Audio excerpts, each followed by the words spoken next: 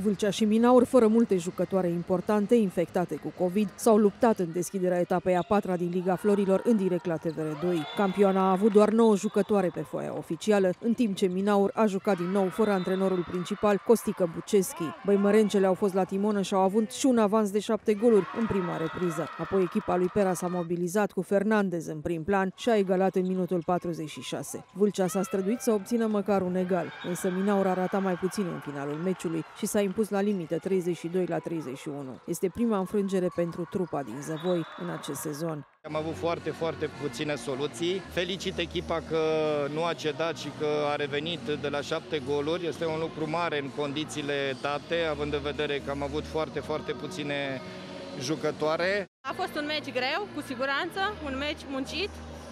Uh, cred că ne-am adus fiecare aportul și datorită faptului că am fost echipă, s-a dovedit a fi victorie.